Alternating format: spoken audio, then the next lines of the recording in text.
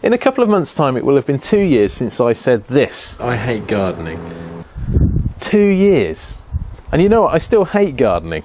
I don't really enjoy doing it. In fact, I think I enjoy making videos more than I enjoy doing gardening, and that's what kept me doing it for so long.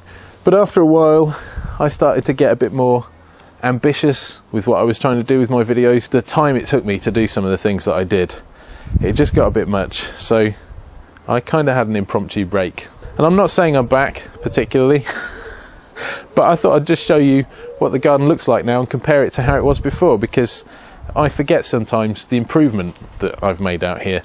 So uh, here we go. This area down here is the wildest part of the garden. You can see some bindweeds come through. Um, I'm going to pull that up with the flowers when the seed pods on there have popped. Um, otherwise, I might not get so many flowers next year.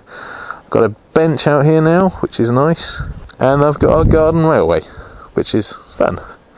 Uh, the kids like it, and I like it, and they put their toys on it. And uh, it's got a bit overgrown the last couple of weeks, so I need to trim it back today. That's what I'm going to be doing later. There's always weeds.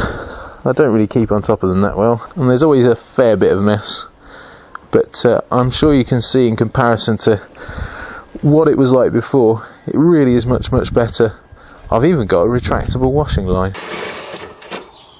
If I did this all again, one thing I'm pretty certain of is that I would be less ambitious with the garden railway. I had too many really elaborate ideas for what I wanted to do out here, and really, I just needed to keep it simple. I spent weeks working on certain elements of the garden that I could have finished in a day if I'd just settled for off the shelf track or using decking boards as track bed, um, things like that. I suppose I have a small regret about that because I could have been running trains and having fun with the kids um, a lot earlier than I was. It has been fun, and I have learned a lot in the process about gardens and about railways, and you never know if I get my act together, you might even see some of my elaborate video ideas come to fruition soon.